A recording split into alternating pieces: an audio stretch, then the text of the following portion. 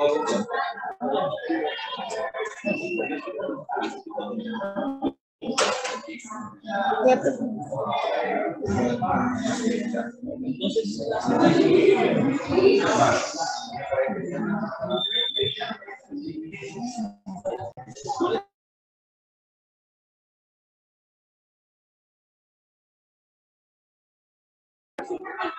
Thank you. Вот так, с ежеными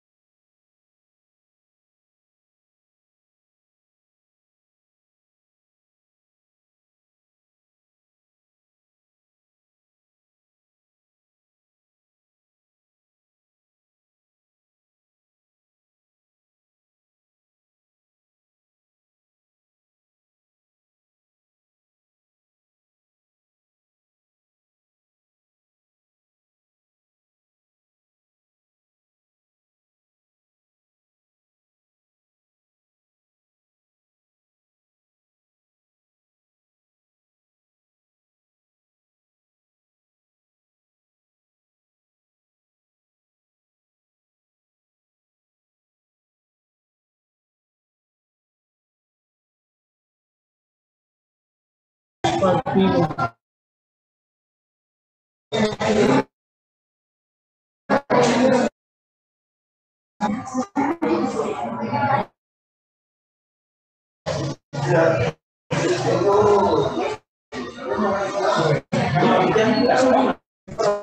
va. diecinueve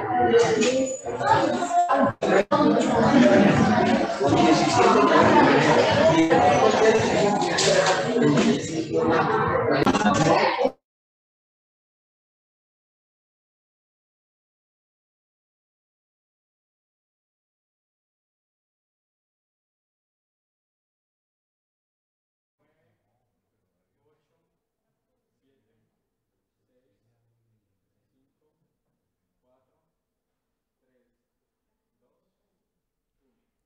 Queridos docentes y estudiantes, sean todos bienvenidos a la segunda Hackathon 2021 de Computadores para Educar, que se desarrolla en alianza con la Uniminuto como un espacio para el intercambio de aprendizaje y experiencias para explorar nuevas tendencias alrededor de la educación y el desarrollo en habilidades digitales.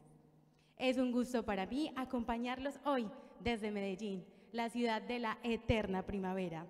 En este escenario que será nuestro espacio de innovación durante dos días, junto con los docentes y estudiantes que actualmente aportan al crecimiento de nuestro país.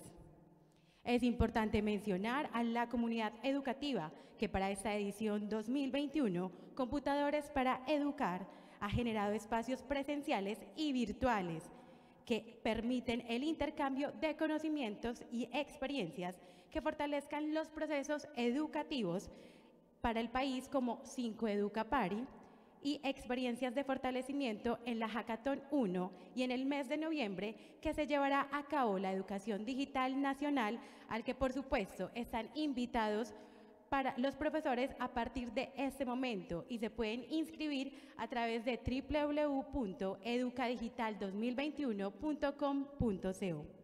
Hoy nos encontramos reunidos con los equipos Dinamita Manuel J,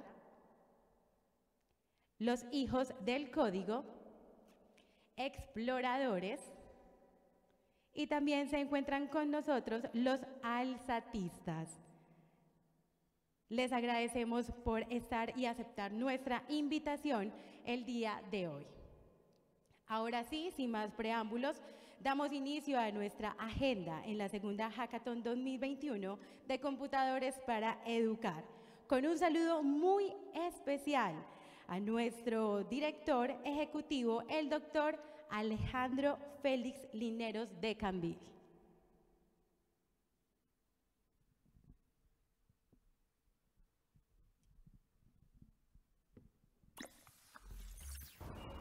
Apreciados docentes y estudiantes que se encuentran en la Hackathon en Medellín, los saludo con afecto y espero pasen una excelente jornada de aprendizaje y les mando un fuerte abrazo. Damos las gracias al doctor Linero por apoyar esta segunda hackathon y motivar a los docentes y estudiantes para participar de manera activa durante toda la jornada. En ese momento invitamos al doctor Luis Gabriel Porras, subdirector de Formación e Innovación de Computadores para Educar, quien presentará de manera oficial esta Hackathon 2021.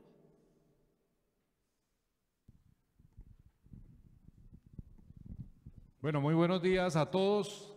Un cordial saludo a los profesores que nos acompañan. Bienvenidos profesora y su grupo, muchachos, bienvenidos, profesores del, profesor del INEN, muchachos del INEN, bienvenidos.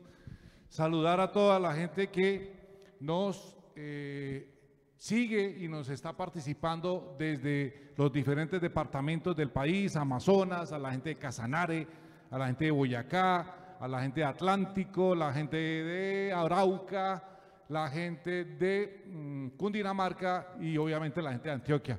Un abrazo muy cordial para todos, bienvenidos. Vamos a iniciar nuestra segunda hackathon del año 2021. Eh, una experiencia formidable donde los estudiantes, junto con sus profesores, tutores, guías, nos van a mostrar unos excelentes retos y unas excelentes experiencias a un problema con unas soluciones prácticas que van a ser compartidas por todos ellos. Bueno, vamos a dar el inicio a esta hackathon hablando de algunas generalidades. Una hackathon que, como bien lo decía Lisset, estamos desde la ciudad de Medellín, eh, emitiéndola, participando, eh, donde inscribimos, donde recibimos la inscripción de 36 equipos de, cinco, de las cinco regiones de Colombia, es decir, todo Colombia está participando por diferentes eh, representantes de los departamentos. De estas 36 o 36 equipos inscritos, pues se hace una evaluación y se seleccionan algunos, de los cuales seleccionados tenemos 18, 18 equipos. De estos 36 se le seleccionaron 18 equipos. De estos 18 equipos en la hackathon tenemos dos categorías. Una categoría de principiantes y otra categoría de avanzados. Dentro de los principiantes se inscribieron 13 de estos 18 equipos y de los avanzados se inscribieron 5 equipos para un total de aceptados de 18 de los 36 equipos. De estos 18 equipos que están inscritos y que van a participar en la segunda hackathon, tenemos representación de los diferentes departamentos del país, como vemos ahí, Amazonas, Antioquia, Atlántico, Arauca, Boyacá, Cauca, Caquetá, Casanare y Cundinamarca. A todos ellos, muchas gracias por participar. Esto es una motivación para los estudiantes, para los niños, siempre con la ayuda de ustedes, profesores, que tenemos que reconocer esa labor que hacen con nuestros niños y niñas del país. Muchas gracias. De los tres equipos principiantes, tenemos que mencionarlos porque hay que darles ese saludo cordial, hay que darles esos créditos a los estudiantes, inclusive que dentro de su misma institución educativa, pues los conozcan. Cibergalanistas, bienvenidos cibergalanistas. Dinamita Manuel J.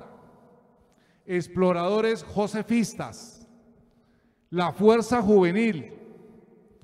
Los alzatistas que los tenemos aquí en vivo y en directo participando con estos hermosos niños de cuarto de primaria, cuarto grado. Profesora, bienvenida, muchas gracias. Los exploradores, los niños de Isabel, los panches, por venir, renacos invencibles, tajamaristas 2.0, tecnolocombia, perdón, tecnolocombita, me imagino que es de Boyacá, Cómbita, y de Yex. Bienvenidos a estos tres equipos principiantes. Vale aclarar que estamos esperando dos equipos más presenciales. Hemos invitado a cuatro equipos presencialmente, ya nos llegaron dos y estamos esperando los otros dos que vienen fuera de Medellín para que hagan, eh, cuando una vez esté su arribo, pues los presentaremos de manera oficial. Dentro de los cinco equipos avanzados tenemos a Bardo, al grupo de investigación PAICA, al INEN ICC, que son, no son Ah, no, los hijos del código, correcto. Al INEN ICC, a los hijos del código que los tenemos aquí, que también es del INEN de Medellín. Entonces, bienvenidos, profesor, bienvenidos, muchachos, muchas gracias por estar acá. Y tenemos a Robototecnium. Son los cinco equipos avanzados que van a participar en esta categoría. Bienvenidos, mucha suerte. Ojalá puedan ser los grandes ganadores porque de hecho ya están los ganadores y todos han sido ganadores como veíamos, porque todos no fueron escogidos, eh, se escogieron las experiencias mucho más significativas. Listo, digamos que esa es la cifra de lo que es la presentación de esta segunda hackathon, de los equipos participantes, de sus dos categorías, de los diferentes departamentos y regiones del país. Vamos a mirar cómo vamos a hacer el desarrollo de nuestra hackathon. Es decir, en qué condiciones lo vamos a hacer y en qué términos. Andrés. Entonces, esta es la agenda para el día de hoy. Vamos a estar nosotros entre hoy, la jornada hasta las 4 de la tarde, y mañana en horas de la tarde, de 1 a 5. Entonces estamos en la presentación de reto que ya vamos, ya en unos momenticos la vamos a hacer. Luego viene por parte de Sebastián de la Universidad Minuto de Dios, que es uno de nuestros aliados al cual le mandamos un cordial saludo y un gran agradecimiento. Él va a explicar la metodología para el desarrollo de esta hackathon. Luego viene eh, una invitación muy especial comunicando con Gabo, que es una invitación a todos los profesores del país para que participen en este evento. Luego ya desde las 9 de la mañana, todo el mundo va a ingresar a las salas para desarrollar su, su reto. Es decir, todo el mundo es el profesor con sus muchachos y grupo de trabajo donde van a estar desarrollando durante todo el resto del tiempo eh, ese reto. Sobre las 12, de 12 a 1, pues vamos a almorzar, volveremos a la 1 de la tarde y seguiremos desarrollando el reto. Esto es muy especial en horas de la tarde para que por favor vayan trabajando sus videos, vayan trabajando la plantilla, vayan trabajando los archivos porque hasta las 4 de la tarde es el tiempo máximo que se tiene para que todo esté listo, para que todo esté subido. Entonces, sobre las 3 y cuarto le recomendamos por la experiencia de que ya vayan eh, cerrando sus presentaciones, cerrando su material para poderlo subir. Allá la gente, sobre todo que está en, en virtualmente, para que tengan presenta, presente este, esta recomendación.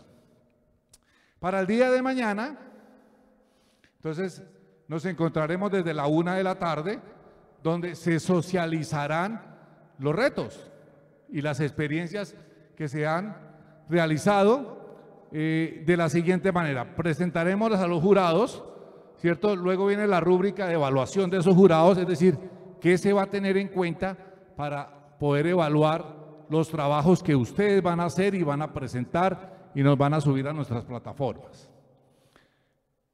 Van a hablar algunos de los jurados participantes. Vamos a socializar a los equipos con los jurados para que ellos vayan eh, intercambiando ideas con cada uno de ustedes. Ya después tomaremos a los jurados de la segunda categoría, que es avanzados, y haremos exactamente lo mismo, los, los socializamos con los equipos y la presentación de los jurados con eh, los correspondientes equipos de la categoría de avanzados. Ya entre 5 y 5 y 15 harán la evaluación esos eh, jurados de los trabajos que, se han, que han recibido y ustedes han desarrollado para mm, entre 5 y 15 y 30 de la, de la tarde dar los ganadores.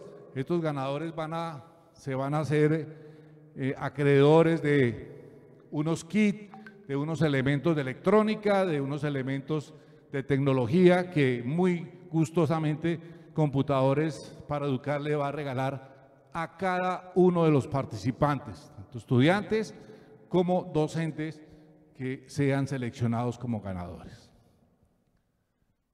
¿Cuál es el objetivo de, haber, de estar aquí? ¿Cuál es el objetivo?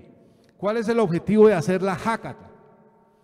Entonces, uno, estimular la creatividad, el trabajo en equipo y la innovación. Y por eso está un grupo con su profesor. Entonces, ahí estamos hablando de trabajo en equipo. Cuando yo creo innovo, entonces ustedes van a tener un, un problema, van a crear e innovar la solución a ese problema. Fortaleciendo las habilidades de los estudiantes para que mediante la exploración desarrollen un prototipo o solución a esa problemática. Esa solución a esa problemática es la concepción que ustedes van a hacer en grupo. Ustedes van a mirar las alternativas y son los que van a poder escoger esa solución que sea la más conveniente y la van a medir obviamente con unos riesgos que ustedes verán cuáles, cómo les da el peso a cada uno de esos riesgos. Esta hackathon lo que desarrollaremos es una forma abierta para los participantes a través de una pregunta. La pregunta es, ¿cómo usarías los conocimientos que adquieres en tu colegio? ¿Cómo usarías los conocimientos que adquieres en tu colegio? Entonces, uno recibe mucho conocimiento en el colegio. Hay unos que a ese problema lo pueden aplicar. Otros no sirven para la aplicación a ese problema. Pueda que no sirva para otro, pero para ese no nos sirve. Entonces, desde todo eso que usted recibe de las diferentes áreas de los diferentes profesores que le orientan sus asignaturas, ¿cómo lo aplicaría?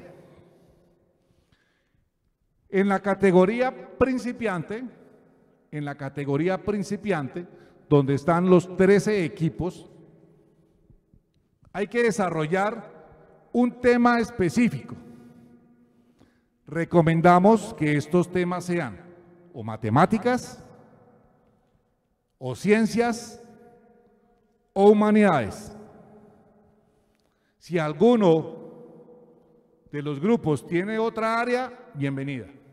Pero tratamos de cerrarla un poquito precisamente para, para no tener esa, esa, esa distorsión de temas. Pero por eso recomendamos estos tres temas.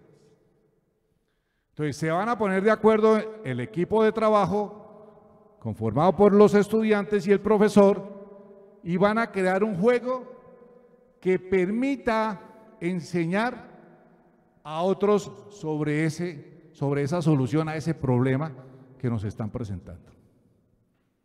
Entonces, vamos a retomar lo que hemos hablado. Trabajo en equipo, creación, innovación. Para la categoría principiante. Para la categoría avanzada, para el caso del INEM, deberán de crear un producto software, integrado, software y hardware,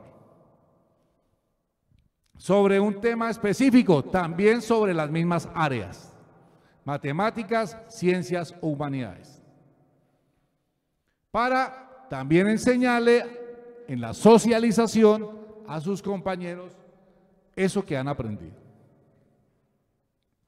En esta categoría se podrá usar simuladores de hardware en caso de que lo requieran, ¿cierto?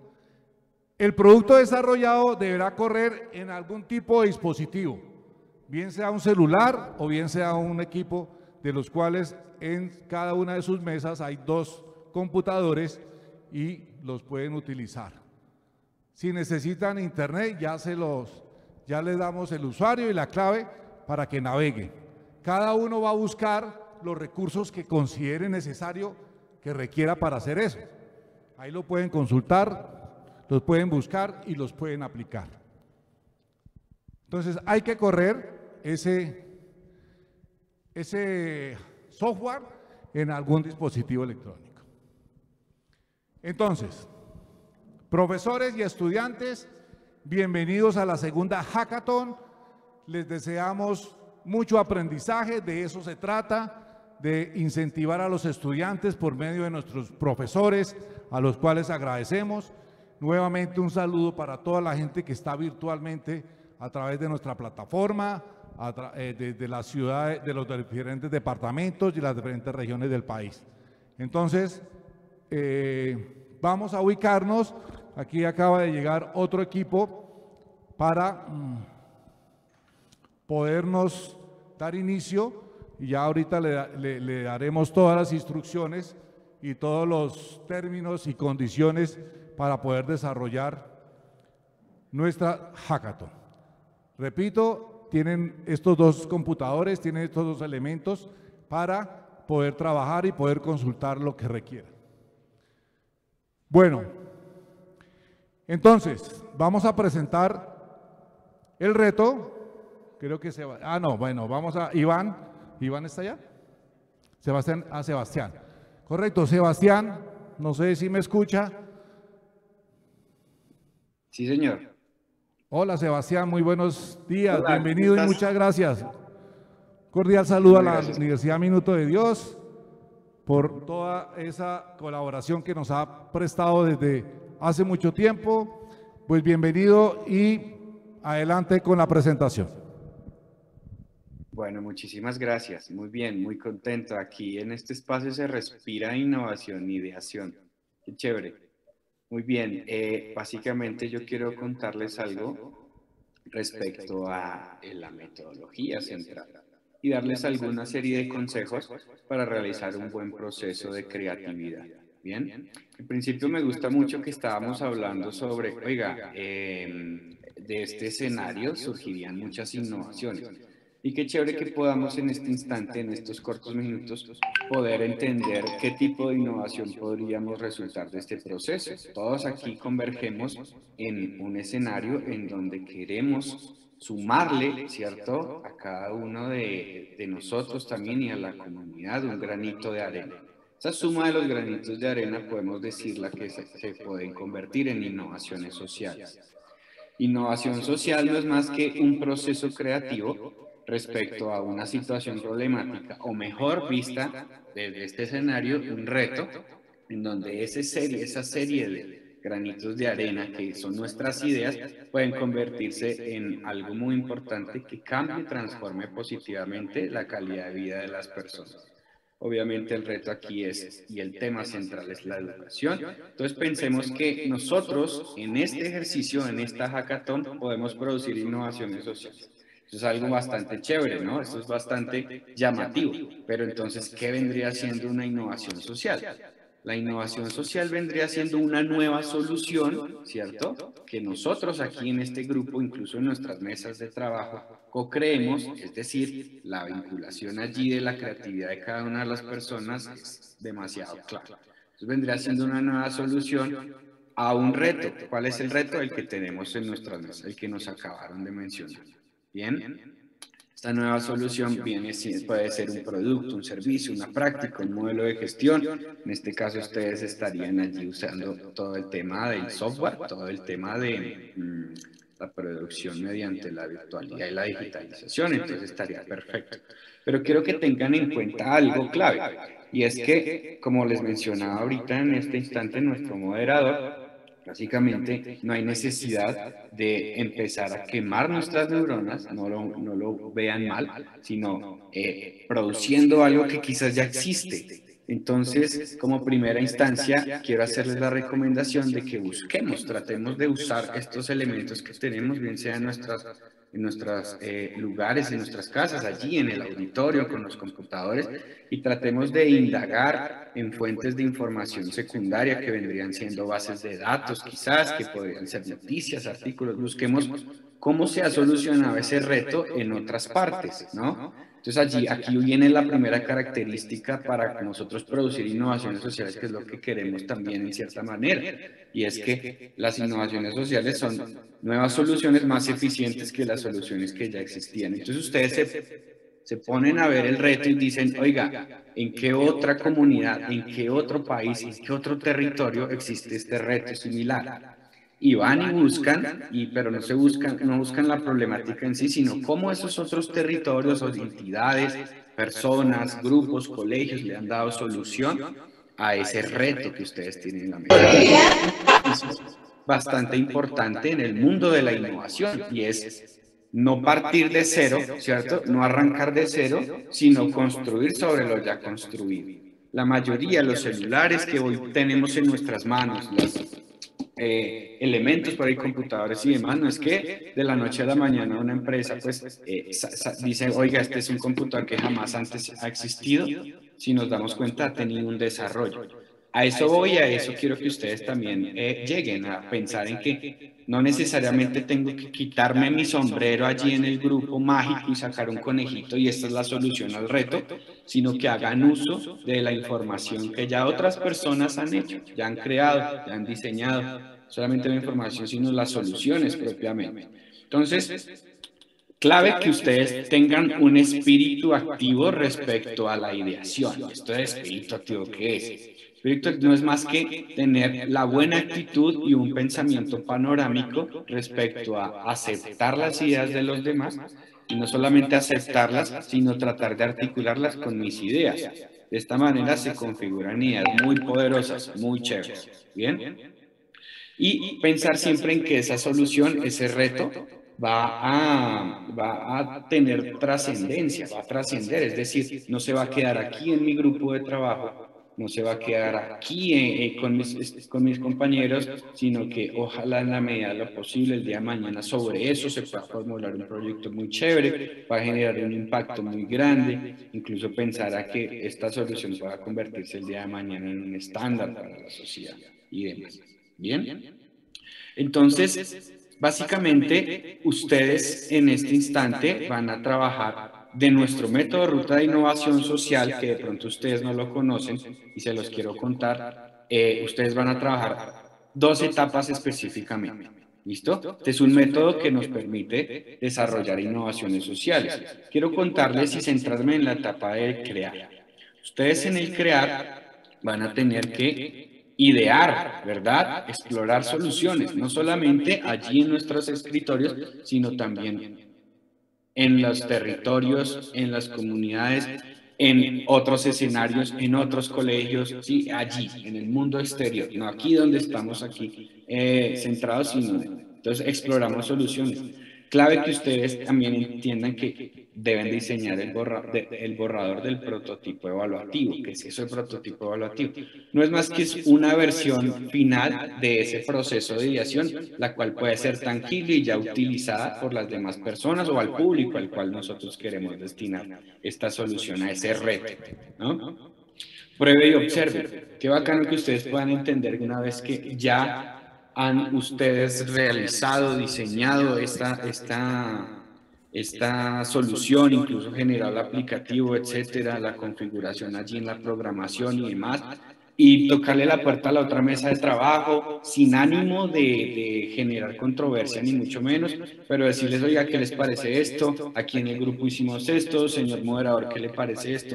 Probar y observar es básicamente poner a prueba un piloto de lo que estamos haciendo para cuando ya tengamos la presentación, decir, oiga, miren lo que surgió, ya lo probamos y creemos que es efectivo no solamente por nuestro grupo de trabajo, sino en general. ¿Listo? Em, algo bastante importante también que les quería contar es por aquí que tengo una filmina, el proceso creativo. ¿Cómo es que uno genera un proceso creativo de ideación que creo que les va a servir mucho?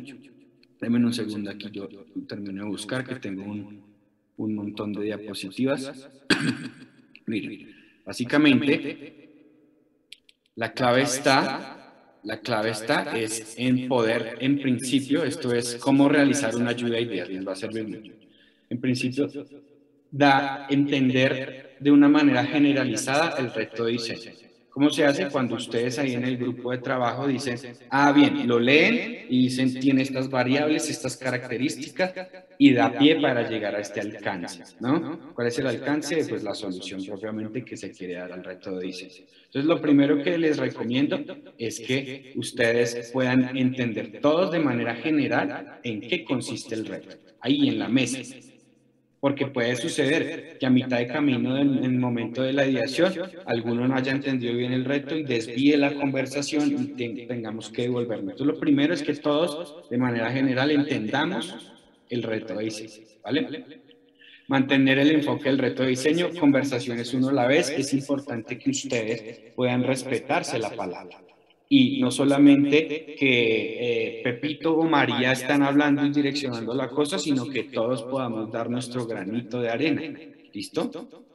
Construir sobre las ideas de los demás.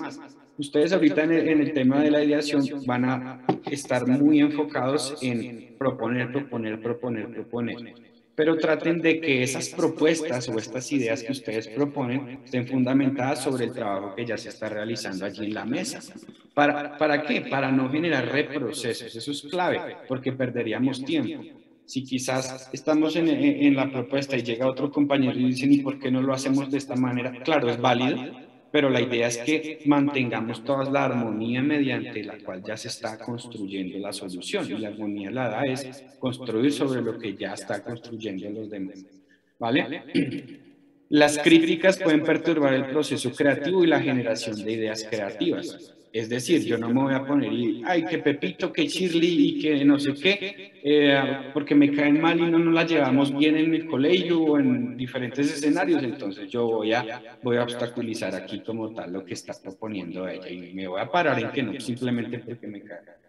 Entonces, ojo, esa es una variable que pueden generar críticas. La otra es, a mí no me gusta porque yo sé que mis ideas son las mejores. No, entremos con las manos vacías al momento de la ideación eh, con las manos abiertas, ¿cierto? Esperando a que reciban nuestra propuesta a nivel individual y pues nosotros podamos también aportar nuestro granito de arena. A mayor cantidad de ideas, mayor oportunidad de producir una solución innovadora y funcional.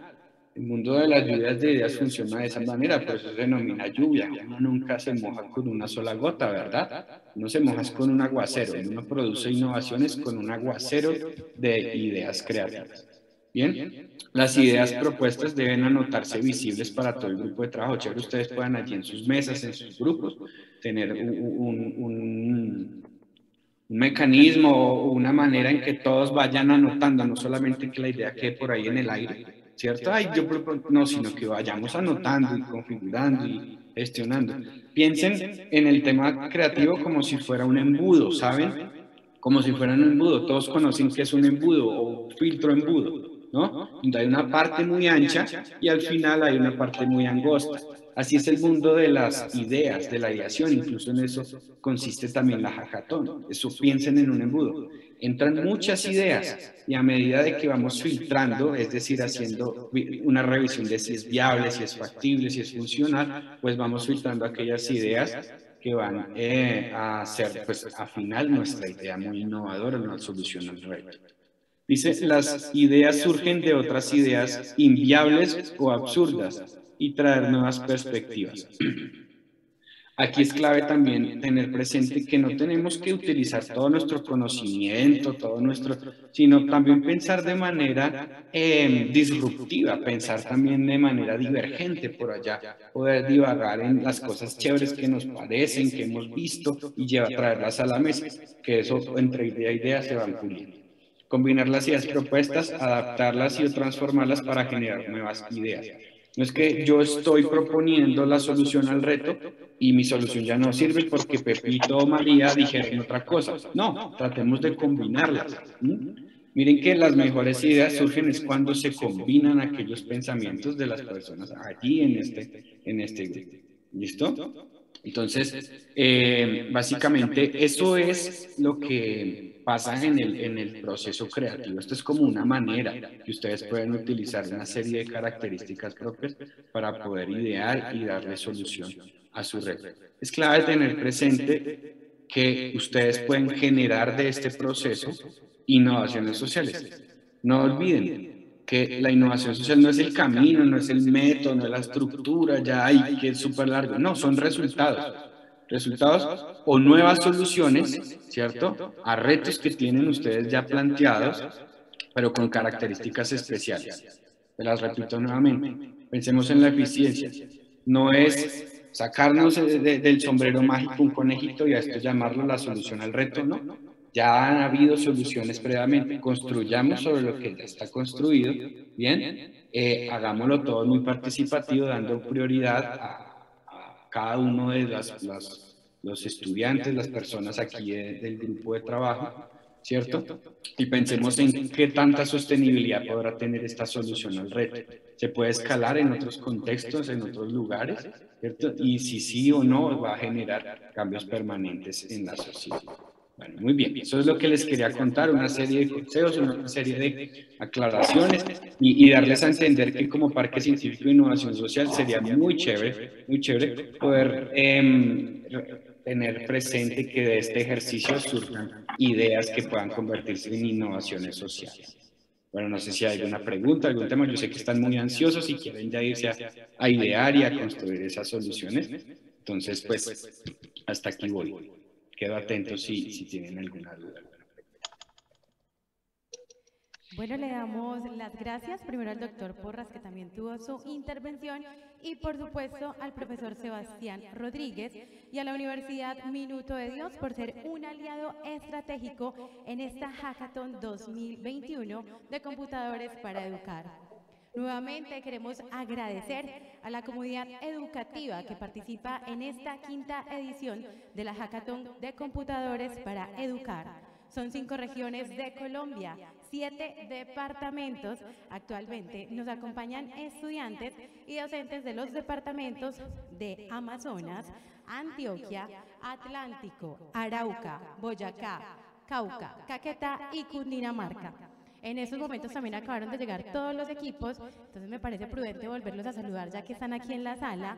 Ellos son Dinamita Manuel J, que ya se encuentra aquí desde el corregimiento de San Antonio de Prado, Exploradores, los hijos del código y por supuesto los alzatistas, ya todos están aquí ubicados para empezar a crear. Continuando con nuestra agenda, ahora damos la bienvenida a Iván Cárdenas Donado, director de Educación y Ciudadanía de la Fundación GAO, maestrando en gestión de organizaciones, comunicador social de la Universidad de Cartagena y licenciado en lenguaje castellano y comunicación de la Universidad de Pamplona. Fue becario de la expedición Ruta Quetzal del, 2010, del 2009, España y Chile, del proyecto Caminos.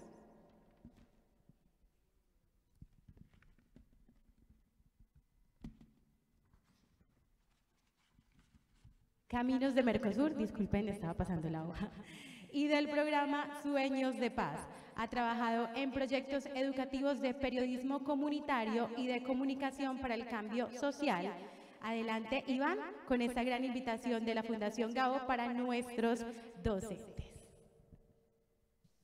Hola, ¿qué tal? Muy buen día. Eh, muchísimo gusto. Eh, para mí es un placer inmenso poder compartir con ustedes en este espacio, en esta hackathon. En primer lugar, pues saludarlo desde Cartagena, Indias, que es la sede de la Fundación DAO, una fundación creada por Gabriel García Márquez hace ya 26 años eh, pero una fundación internacional que trabajamos en toda Iberoamérica, desde el Caribe colombiano. Eh, y la fundación pues, fue creada por García Márquez con un propósito básico y es aprender a contar mejores historias. Eh, ustedes son creadores, sin duda contar historias también hace parte de esos procesos de creación. Eh, y la Fundación DAO, en conjunto con el Ministerio de Tecnología de la Información y las Comunicaciones de Colombia, MITIC, viene desarrollando una serie de proyectos y productos en la línea de aprender a investigar, contar y compartir historias. Y es por eso que hoy estoy acá. Eh, quiero compartir con ustedes una experiencia que tenemos, eh, que desarrollamos en conjunto con el Ministerio en el transcurso de este año, que ha, ha tenido una muy buena recepción y es un curso virtual de periodismo escolar. Eh, ¿Qué es esto, básicamente? Es un producto que hemos diseñado para que la comunidad educativa, estudiantes, docentes, padres de familia, eh, aprendan eh, y descubran el poder de contar historias. Nosotros de la Fundación Gabo creemos que en gran medida el desarrollo de la humanidad se ha dado por el poder de contar historias. Siempre estamos contando historias. y el mundo, en el mundo digital, creo, hoy más que nunca es más fuerte, ¿no? Existen muchísimas plataformas, muchísimos formatos, pero todo el tiempo estamos contando historias. Lo que publicamos en una red social, la fotografía que posteamos, es contar historias. Entonces es muy importante que aprendamos, a, primero que todo, a descubrir ese poder. Segundo que todo, que descubramos el papel de investigación, eh, porque para García Márquez decía, la gente cree que, que, en mi caso como escritor y periodista se debe a una gran imaginación o una gran creatividad. Él decía que realmente el poder de la creación, y eso también es un mensaje en, este, en esta hecatón, el poder de la imaginación está en la capacidad de investigación. Entonces es muy importante, decía, no puede haber creación sin investigación, y para contar historias es necesario investigar, independientemente si esas historias son de ficción o no ficción. Entonces, esto es un producto precisamente para eso, para aprender a contar historias. Eh, es un curso de libre acceso una de las cosas más importantes, completamente gratuito. Está alojado en la plataforma de la página de la Fundación GAO, que es www.centrogao.org. Es un curso asincrónico, eso quiere decir que usted lo puede hacer en el momento que usted quiera, no tiene una fecha de inicio ni una fecha de finalización. Eh, usted lo puede hacer el día que usted quiera, a la hora que usted quiera, en el momento que usted quiera. El único requisito es que usted tenga conexión a Internet eh, y lo otro es que tenga un correo electrónico para hacer el proceso de registro. De lo contrario, usted es el protagonista del curso. Eh, el curso no tiene exámenes, no tiene evaluaciones, está lleno de retos. Eh, y si ustedes están participando en esta hackathon, seguramente están acostumbrados a los retos. Entonces, el curso está, acostumbrado, está diseñado de esa manera. Básicamente, el curso se divide en cuatro módulos.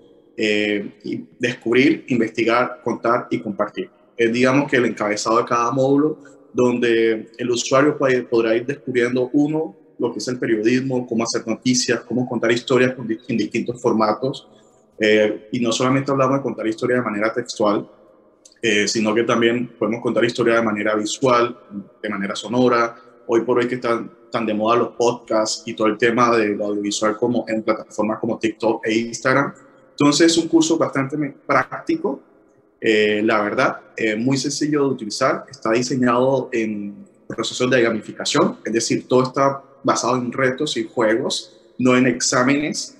Eh, al final no hay una gran evaluación para saber si pasaste o no el curso, sino algo lo que nosotros hemos denominado la Copa Gabo, que es un reto final para poner a prueba, digamos, los conocimientos que se obtienen durante el transcurso del curso.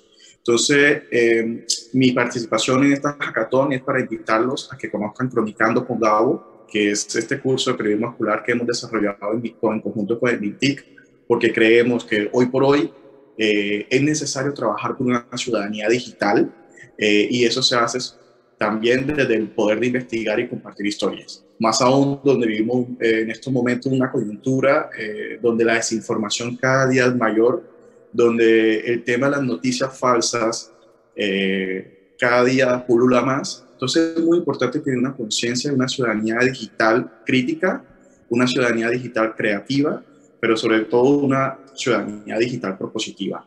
Entonces, les repito, es un curso completamente gratuito, de libre acceso, asincrónico. Usted lo puede hacer en el momento que usted desee.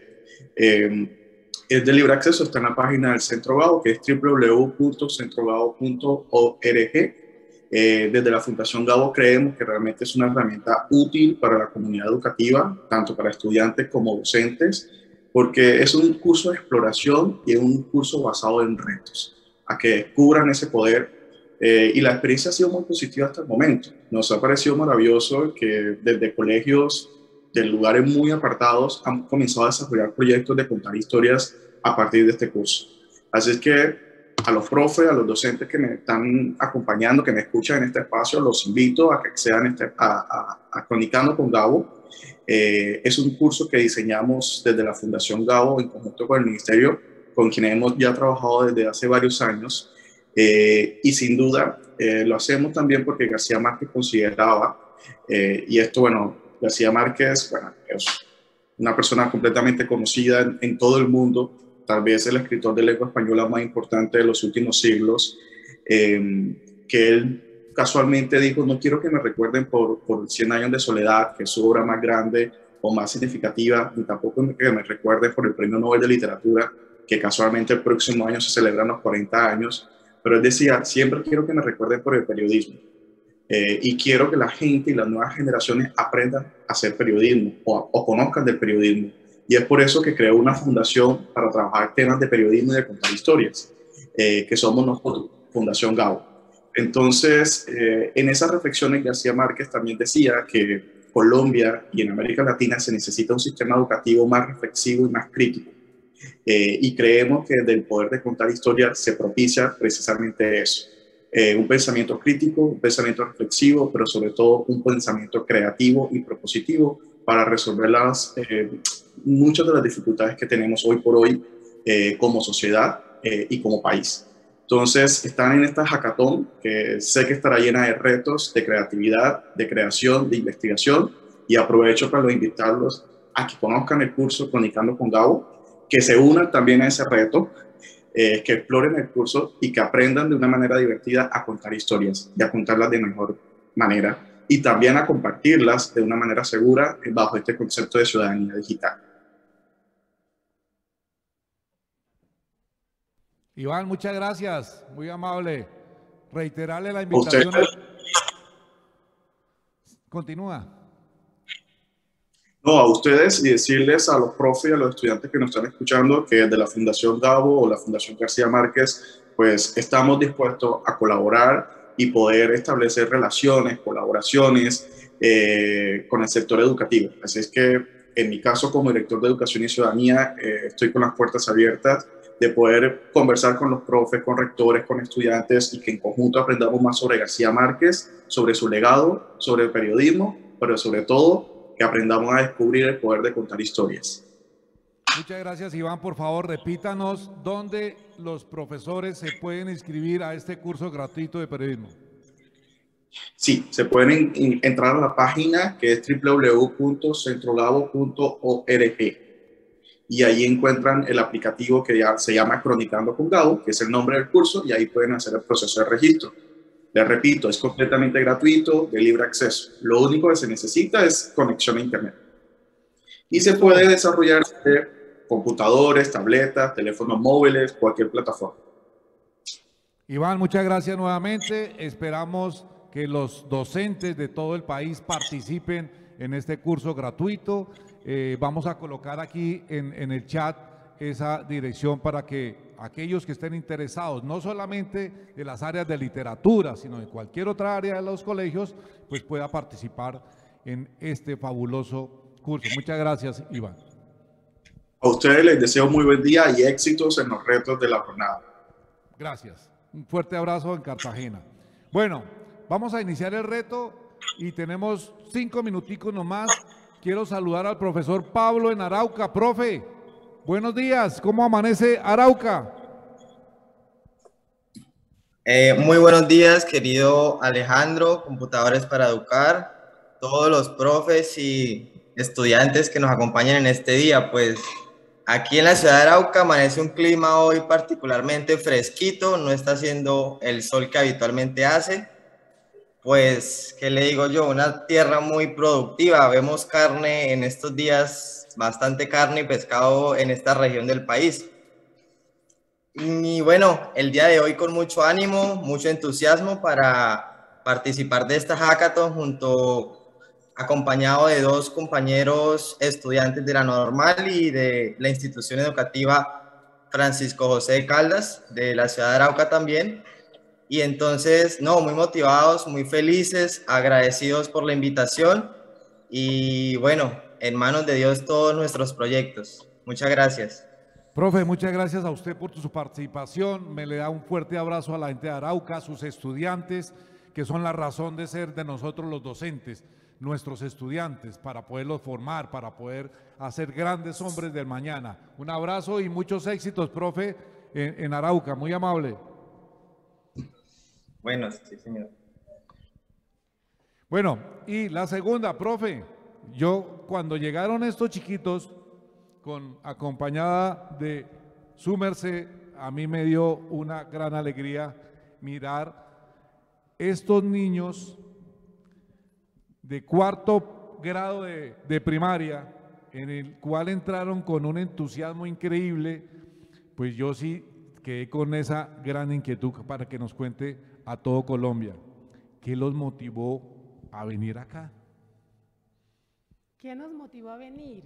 El deseo de aprender cosas diferentes, el deseo de aprender por fuera de nuestra aula de clase, el deseo de, de, de experimentar cosas nuevas, el deseo de crear, el deseo de crecer. Eso nos motivó a participar en el evento y aprovecho pues como para ampliar un poco eh, lo que hemos venido haciendo con estos chicos de cuarto grado de la sección Seguros Bolívar de la institución educativa Gilberto Alzate Avendaño de la ciudad de Medellín. Eh, estamos haciendo nuestros primeros pasos en programación. Eh, venimos trabajando con la Microbit a partir de la experiencia que tuve de aprender un poco el año pasado en el proceso de formación que hizo el ministerio eh, que capacitaba a los profes en pensamiento computacional para niños. Entonces empezamos este año a implementar la estrategia dentro del aula de clase y ellos la han recibido, mejor dicho, están supremamente entusiasmados. Esta semana ellos estuvieron en un evento que hicimos en la institución que lo llamamos experiencias significativas, explicándole a los maestros de nuestro colegio lo poco que ellos han venido aprendiendo en programación. Entonces, ese deseo de seguir aprendiendo y seguir creciendo en este ámbito de la computación eh, fue el que nos motivó a venir a este proceso. De hecho, ni sabíamos si una colega eh, me mandó pues la información, inmediatamente me comuniqué con una, eh, con Catalina, me parece, por chat y ya ella me contó, yo le dije, listo, nunca hemos participado, pero queremos vivir esa experiencia, así que vamos con toda y aquí estamos, a ver cómo nos va. Profe, muchas gracias. Gracias Bienvenida, mucha gracias. suerte. Aquí, chiquis, ¿le gusta la metodología que la profe usa? Sí, ¿Qué es lo que más te gusta? que podemos nosotros desarrollar nuestra creatividad a través de las herramientas que ella nos da para jugar y crear programas. Muy bien. Chóquila. Bueno, qué rico. A mí me encanta eso. Muchos éxitos. Lo mismo aquí, profesora, bienvenida. Muchos éxitos. Profesor y compañeros del INEN y profesor y compañeros del José Horacio Betancourt. Sí me lo aprendí. Bueno, muchas gracias. Un saludo. Gracias también, un saludo muy cordial a la profe Ana Lara allá en Amazonas. Pero quiero saludar también al profe Norocue. Profe, ¿cómo le va?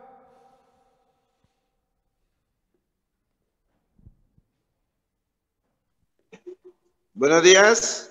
Hola, profe, qué rico verlo, qué rico tenerlo. Un abrazo especial. ¿Cómo está Orocue?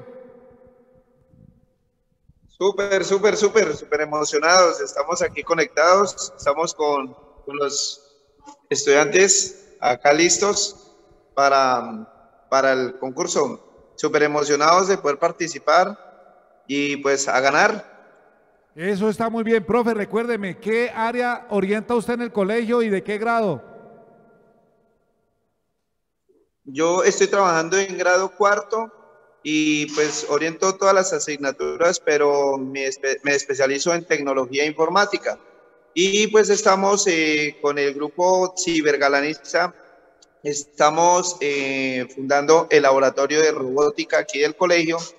Entonces, desde grado cuarto, eh, estoy enseñando a los chicos a programar, todo el mundo de la programación pero desde, desde el juego, desde la parte divertida, haciéndolo eh, pues llamativa esta área. Entonces, por medio del juego, llamamos a los chicos, implementamos proyectos, desarrollamos proyectos y pues estamos, eh, eh, como se dice, principiantes, pero bueno, vamos bien, vamos bien.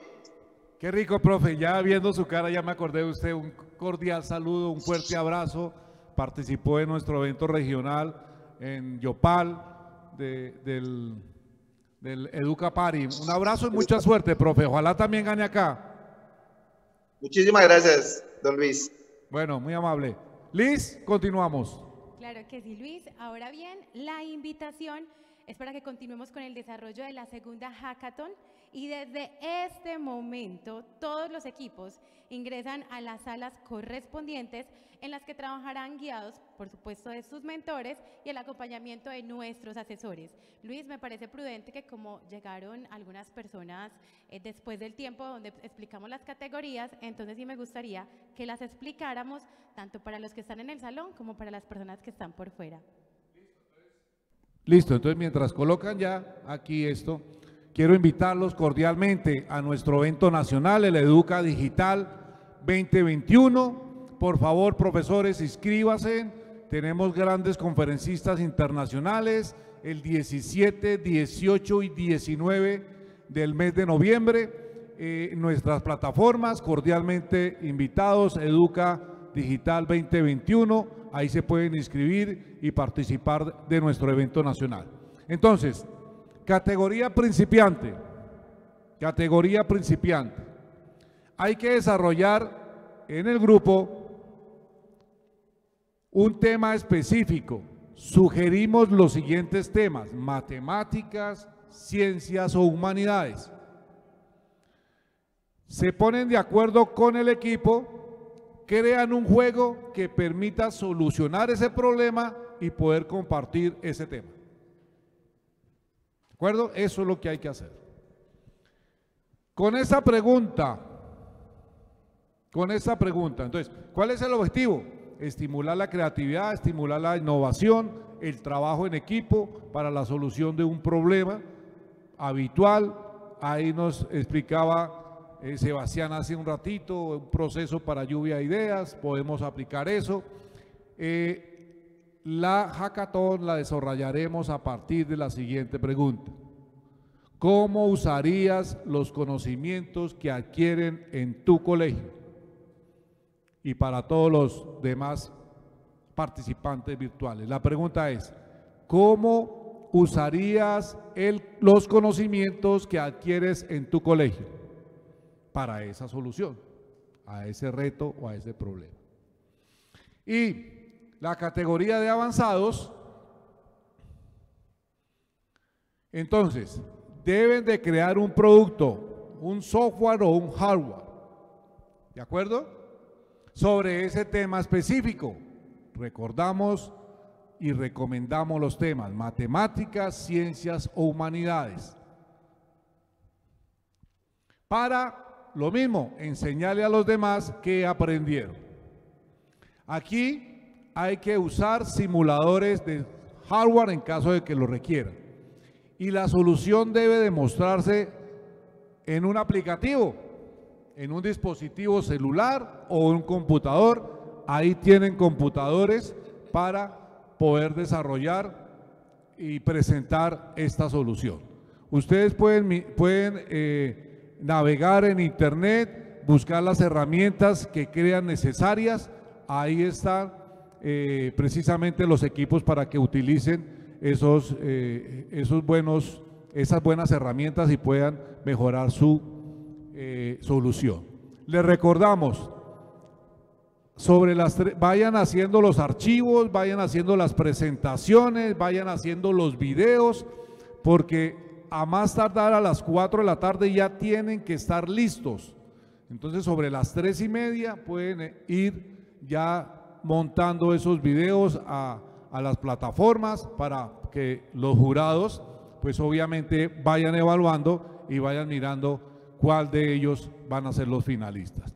Recordemos que los ganadores van a ser premiados con elementos de tecnología que Computadores para Educar les va a dar a cada uno de los participantes ganadores, tanto al profesor como a los estudiantes. Entonces, mucha suerte, muchos éxitos. Lisette. Así es, Luis. Esperamos que todas las categorías hayan quedado súper claras y le queremos agradecer a todos los que nos han seguido en esta transmisión desde sus hogares y los invitamos a mantenerse al tanto de todo lo que pasa con la Hackathon 2021 a través de nuestras redes sociales. Se las voy a recordar, son arroba compu para educar y a seguir la transmisión de la ceremonia mañana desde las 4 y 30 de la tarde por nuestro canal de YouTube de CPE. Entonces, muchísimas gracias, muchos éxitos para todos.